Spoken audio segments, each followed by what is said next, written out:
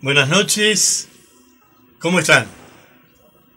Puedo decir bienvenida primavera de flores nuevas. Porque llegó.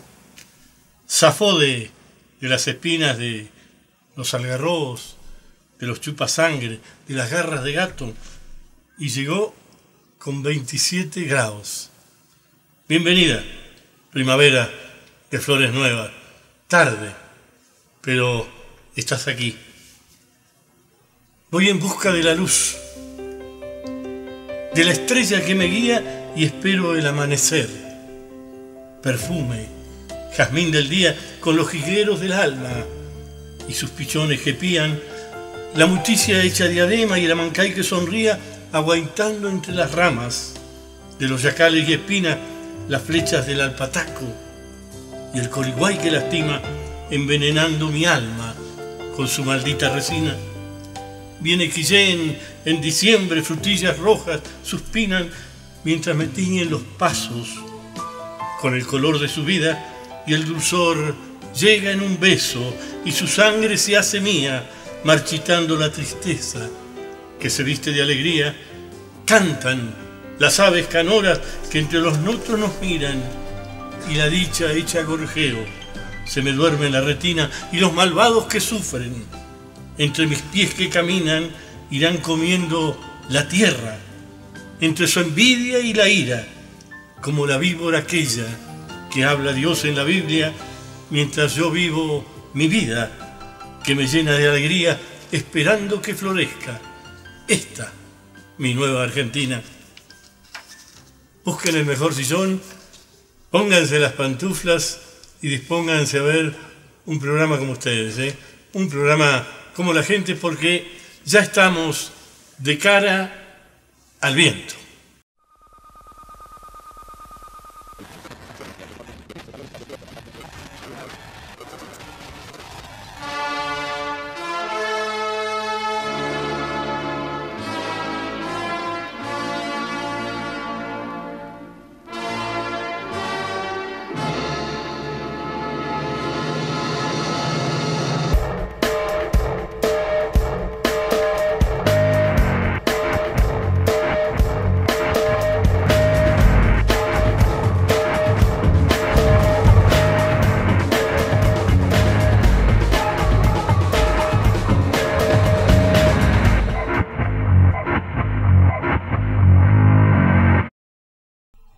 Cuando uno cumple con sus objetivos se siente, se siente muy bien y se reflejan en, su mirada, en la sonrisa.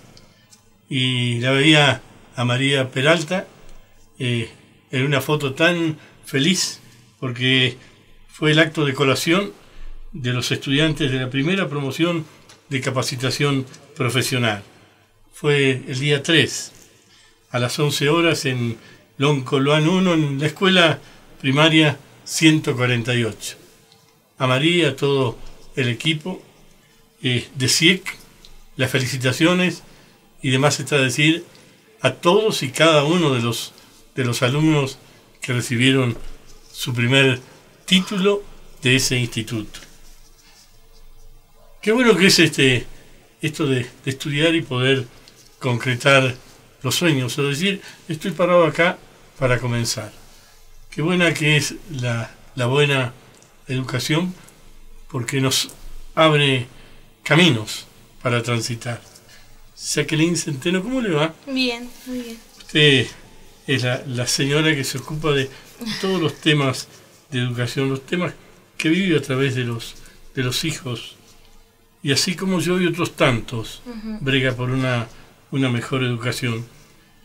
Y uno estaba mirando eh, ¿Qué ha pasado con, la educación? Por ahí uno hasta, llega a pensar que se está nivelando eh, para abajo.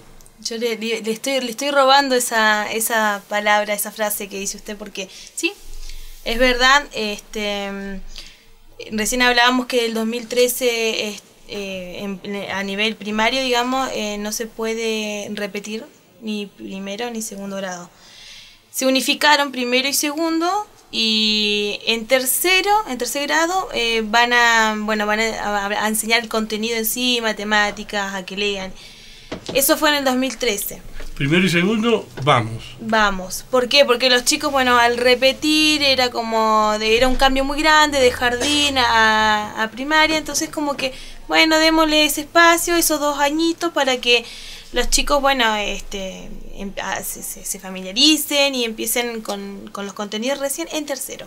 Ahora, yo le voy a contar algo, así que en, en mi época se llamaba la mamá, este, y la mamá trabajaba si el hijo no, no daba, este, trabajaba la mamá, trabajaba el papá, el vecino, la tía maestra, eh, todos, Eh, y no lo dejaban al chico, total, pasa. Los padres están eh, culpando 100% de lo que pasa con la educación a los, a los docentes, y a todo el mundo, pero no nos hacemos un mea culpa. Yo estaba leyendo un informe también de una psicopedagoga que me encanta y le voy a dar el nombrecito para que lo busquen, Liliana González, es Ajá. cordobesa. Sí, la he me leído, encanta ¿eh? y ella, ella misma dice, si, a ver, si nosotros como padre en casa no leemos, porque los chicos son el reflejo de nosotros, o sea, si nosotros no hoy usamos mucho la tecnología y bueno, a ver, tenés, tengo tarea, bueno, buscarlo en internet, buscar la respuesta, pero no la no la buscás realmente como hacíamos nosotros antes con los cuadernos y buscábamos uno, buscábamos otro libro. y- bueno, eh, esto pasa en el 2013 y ahora mi gran preocupación es lo que va a pasar en el secundario, que se está hablando de que en primer año y segundo tampoco van a repetir.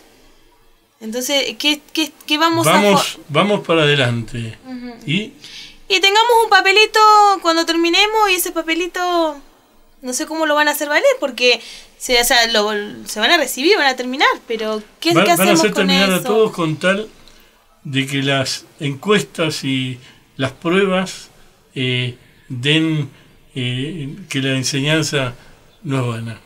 La, Entonces, sí. La excusa ahora en, en lo que es secundario es que los chicos abandonan mucho. Entonces, para que no abandonen, les regalan, para mí, les regalan esos dos añitos. Eh, le regalan dos añitos, después viene el Estado este, y les da una beca y, y después nos transformamos en los NIC, que son los jóvenes que NIC no, este, ni estudian ni trabajan, Eh, los NN, y uno dice, este, pero ¿qué nos está pasando? Y ahí es Eh, donde nos preguntamos, ¿por qué mi hijo le está pasando esto? Eh, así que bueno, eh, nos, bueno, nosotros como padres autoconvocados también estamos viendo qué se hace, pero lamentablemente esto es a nivel país, entonces es como difícil ir contra una contra una decisión tan importante, este, pero bueno, veremos el año que viene cómo podemos cómo podemos por lo menos parar un poco. De todas maneras, ya está tomada la decisión y va a pasar como pasó en primero y en segundo grado. Lo que sí, en primero y en segundo se les pidió a los docentes que tomaran esos grados, el que la que tomó el primero, este se haga cargo en segundo de estos niños porque bueno, obviamente era muy pedagógico. Yo no sé si todos los padres no- nos pusimos a ver que eso nunca pasó, que los suplentes están y van a seguir estando y me parece bárbaro si es que se necesita, porque muchas veces no se necesita, eh, pero bueno, nunca hicimos un seguimiento porque porque nosotros no nos eh, no nos informamos, no sabemos cómo hacer para parar esto o vamos a pelear a la escuela y a la escuela no se pelea, no hay que ir a pelear, porque ¿qué, qué, qué le está No brindando a los chicos? Bueno, informémonos y veamos qué podemos hacer. Eh, usted sabe que en mi, en mi época eh, el que no estudiaba eh, tenía que trabajar. El papá lo llamaba y decía, este, en esta casa o se estudia o se trabaja. Quizá ahora este, digan, mirá, este, las barbaridades que dice, pero era así. Entonces, los que estudiaban, estudiaban, y los que trabajaban, trabajaban. No se quedaban en el boliche de la esquina ni en el bar. No, no. Este, y no sé si éramos mejores o peores. Lo que sí, que éramos más responsables y hacíamos lo que teníamos que hacer. Ahora vamos a llevarlo a los empujones hasta tercer año, los vamos a soltar ahí, ahí van a quedar. Vivimos muy apurados, muy acelerados también. Entonces, como que si viene un niño con la tarea incompleta, eh, esto también eh, lo dijo Liliana, nos enojamos. ¿Por qué? Porque nos desgastamos, porque nos cansa sentarnos y decir, bueno, ¿qué pasó que no completaste Claro. esto? Eh, y lo vemos también en, en las reuniones de padres. Tres, cuatro papás no, no, no, no hace una reunión. Pero bueno, eh, es más fácil dar una tablet, un celular o ponerlo Ah. en la computadora o ver, no sé, dibujito y decir, bueno, el sapo Pepe me está, como decía Liliana, porque hoy lo estuve viendo mucho, me, me está enseñando a comer, Claro. por dar un ejemplo. Eh, Jacqueline, este, y los chicos estos eh, no van, no reciben apoyo. ¿La visitó alguna vez un maestro en su casa? No, a mí no. Usted sabe que se compraba, se, se- se- había que hacer visitas. Este, los maestros tenían la obligación, tenían un cuaderno de visitas y al salir de la escuela iban a visitar a, a todos, hablar cada- con cada padre en su casa, porque muchos padres no, lo dejan a los chicos y no van más. Visitas domiciliarias y se cumplían. Y se llevaban el cuaderno con visitas domiciliarias y la directora ah, estuvo en tal lado, en tal lado. Muy bien, ¿y a este chico qué le pasa? ¿A este chico le ¿Por qué no pasa esto? Ajá. Sí, bueno, hablando de visita, que por ahí tiene que ver, porque para mí todo tiene que ver con todo, este, en mi casa eh, fueron las enfermeras a hablar del tema de las vacunas. Y yo también a veces me pregunto, digo, ¿es necesario? Y bueno, si el que no lleva al hijo, más vale, tiene que salir y está buenísimo, pero ¿cómo nos estamos dejando, nos estamos quedando atrás? Estamos dejando que los chicos resuelvan o hagan lo que quieran, Eh, tirones de oreja a los maestros, a los padres. a los padres, a a los chicos. Eh, hay que decirle al chico no cuando hay que decirle no. Y hasta la Biblia dice que si es necesario un chirlo que se lo peguen y uno llega, dice esto, y decir, uy, los derechos del niño. Eh, Yo creo que hay que mirarnos más, sí. mirarnos más. Comer, apagar la tele y mirarnos más. Y lo digo porque tengo un nene de 14 años y a veces estoy muy, muy, muy acelerada y me dice, mamá, ¿Qué te pasa? mírame, háblame y mírame. Así que sí, hay que aprender. bueno, un buen consejo. Eh, mire a su hijo. A ver si, si le puede transmitir con, con la mirada todo ese amor que tiene adentro. Así que el amor de padre innegablemente está. Lo que pasa es que por ahí no miramos y no lo, no lo manifestamos. Gracias, Jacqueline. Gracias a usted. Pausa.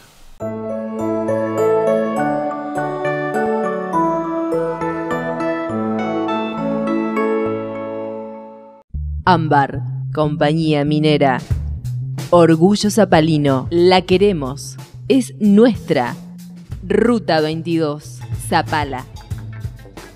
Línea completa en electricidad y electrónica automotriz. Autopartes Zapala. Tu auto en nuestros estantes.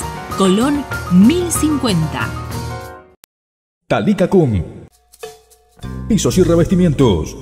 Consulta nuestros precios y verás que todo cambia en Zapala. Celular 15 44 58 66. Codiciada, con los colores de la nueva temporada. Encontranos en Echeluz 689, el lugar que te vuelve una mujer única y codiciada. Viva, gestión ágil, damos préstamos personales y la primera cuota la pagás recién a los 60 días. Ejército Argentino 478. Le brindamos productos de tocador, fragancias importadas y alternativas. Todo en regalería, billutería, relojes, carteras. Salud, belleza y estética. Ricuritas. Tiene esas cosas ricas que tanto te gustan. Hacen pedidos de tortas para cumpleaños, casamientos o para cualquier evento que necesites. La espiga de oro.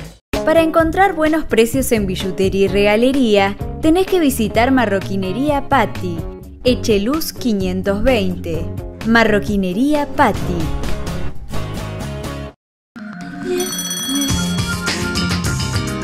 MacMasi va a tu casa. Solicita el Mac Móvil al 423200. Contamos con las mejores calidades en lanas. Tenemos la ropa cómoda que necesitas. Avenida San Martín 346, Punto y Lana. El restaurante y parrilla del Automóvil Club Argentino te espera con la mejor selección de carnes y una variada carta de menúes de recetas caseras. Restaurante y parrilla del Automóvil Club Argentino. En Tejidos Patti tenés la exclusividad que deseas de la ropa de alta moda, camperas para hombres y chalecos. Avenida San Martín 386, local 13.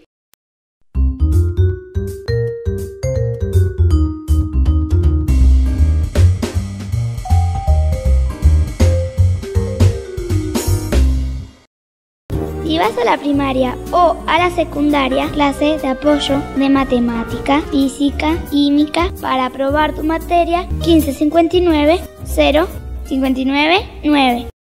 Aluquem, carpintería de aluminio a medida. Aceptamos todas las tarjetas. Llámenos 1566 7127 o los esperamos en Avellaneda y Eva Perón. Buenas imágenes con equipos de última generación, radiografías con muy poca radiación. Tenés que ir al Centro de Diagnóstico Bucal, Olascoaga 543. En Neuquén el turismo creció 79% y no es casualidad. ¿Cómo lo logramos? Invertimos en rutas y caminos, sumamos más vuelos diarios desde todo el país, inauguramos vuelos nocturnos en Chapelco, capacitamos a Laura, a Lucas y a todos ellos. A través del Centro PYME, Nico y Mariela consiguieron el crédito para hacer realidad su proyecto. Así, con años de esfuerzo y trabajo en equipo, logramos que el turismo crezca. Juntos, hacemos la mejor provincia.